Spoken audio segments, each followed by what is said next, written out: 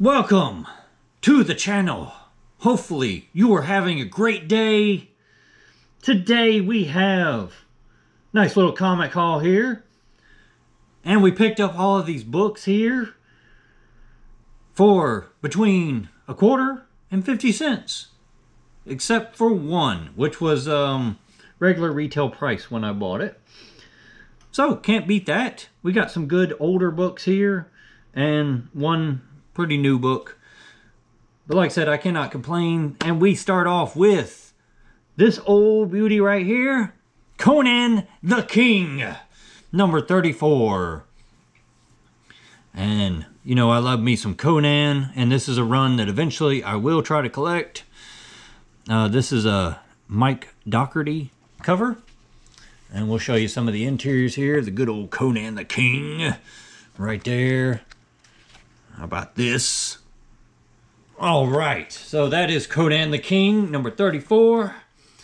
And next up, we have another Conan the King.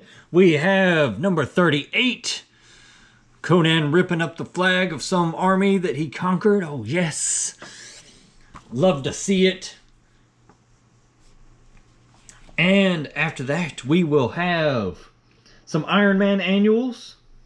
This is pretty cool because, you know, Iron Man's one of the characters that I love here. So we have Iron Man Annual number 8 from 1986, guest starring X Factor. And that's when he was in the, um, what is it, Silver Centurion armor, I believe. Got a nice giant size annual. Show you some of the interior there right there. Like I said, not bad pickups because they're all in very good shape for, you know, like I said, a quarter to 50 cents a piece. Not bad. I'm not complaining at all. And next in the Iron Man annuals, we have number 11. This is from 1990. This was part two of five of the Terminus Factor, the beginning of the end. Plus, you get four other thrilling features in this one. So, pretty cool. A lot of these have Dungeons and Dragons stuff on the back. Interesting. All right, and then following number 11, we have number 12 from 1991, Toe to Toe Fury Against the Outcast. This is uh, part four of Subterranean Wars. Not sure where the other parts are, but interesting stuff. And lastly, with the Iron Man Annuals, we have number 15 from 1994. This is more the Iron Man armor that I kind of grew up with here. Uh, this was on, I believe, Iron Man 300-ish. Is where this armor was there as well. Right in that same kind of time frame. And it says on the cover there, you got Against the Controller, Minds in Collision. So pretty cool stuff. Love to see it. And our last pickup in this haul was the modern book that we picked up here. We got more in the Wolverine Volume 7 run. Here we got number 37.